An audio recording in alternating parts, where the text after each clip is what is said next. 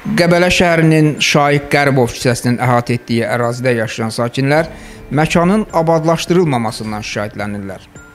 Onlar bildirirlər ki, burada əsas problem yola asfalt örtüyünün döşənməməsi və yağışlar zamanı ərazidən axan suların vətəndaşların evlərinə ziyan vurması, həmçinin yaranan gölməçələrin antisanitar vəziyyət əmələ gətirməsidir.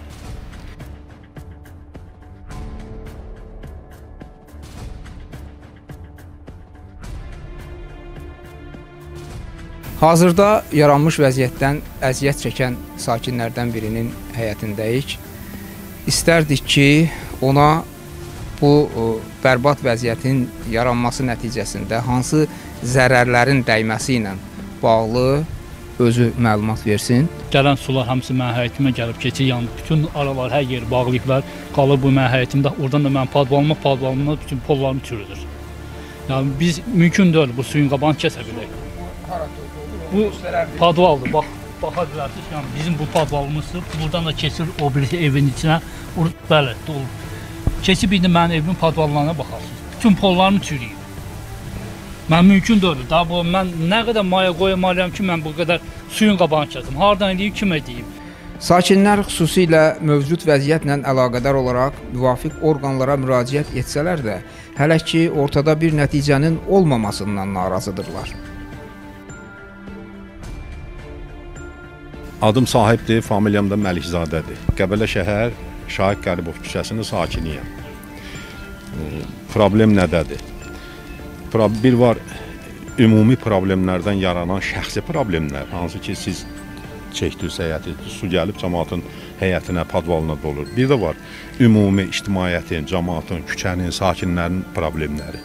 Məsələn, bizim bu Şahid Qəribov küçəsinin ən əsas problemi odur ki, hal-hazırda 2 200-250 metrlik yerdir. Bura asfalt çəkilmədi. Qəbələ şəhərində e, asfaltlaşma prosesi getdi. Bu küçəni nəsə yaddan çıxartdılar. Biz belə hesab elədik ki, yəqin bizi unudublar. Şahid Qəribov küçəsinin sakinləri bax 35 nəfərin imzası ilə Qəbələ rayon icra hakimiyyətinə müraciət eləmişik.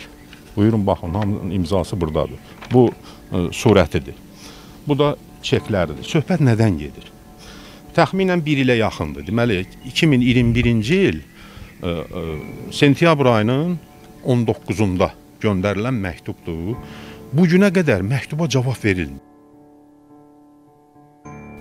Yolda asfalt örtüyünün olmaması, Şaiq Qəribov küçəsinin əhatə etdiyi ərazidə yaşayan sakinlərin təcili təxirə salınmaz tibbi yardım xidmətindən istifadəsində də müəyyən problemlər yaradır və avtomobilin ünvana gec çatması ilə nəticələnir. Lakin əngəllər heç bununla da bitmir. Özünüzü təqdim eləyin. Kərimov İlqar Məhəmmədoğlu. Şahid Qəribov küçəsində yaşayıram. Uzun müddətdir, 40, elə bil ki, özüm 62 təvəllüdəm. Bu yaşdan bu e, e, məhəllədə yaşayıram. Bu məhəllənin həmişə küçə, bu nətər görmüsünüz elə də olur. Həmişə.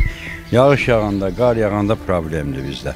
Nə gedəş var, nə gəliş var. İndi maşını olan bir təri keçirir. Körpü uşaqlar buradan məktəbə nətər getsin? Bax, mən də öyrəm sənsin.